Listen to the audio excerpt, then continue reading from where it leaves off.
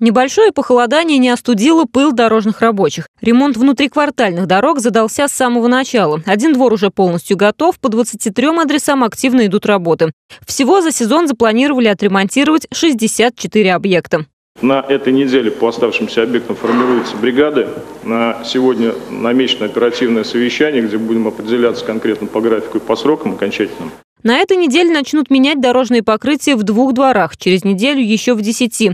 Темпы хорошие, отмечает глава города Олег Фурсов. Но нужно ускориться, чтобы успеть до осени. Нужно активно привлекать дополнительные ресурсы с тем, чтобы пока люди в отпусках, пока город у нас не заполнен жителями на полную, так сказать, нужно эти работы все выполнить максимально.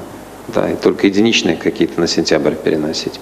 Кроме того, контроль дорожных работ во дворах должны взять на себя главы районных администраций, напоминает Олег Фурсов, и требует от них большей активности. Объезд объектов, проверка качества дорог и соблюдение сроков.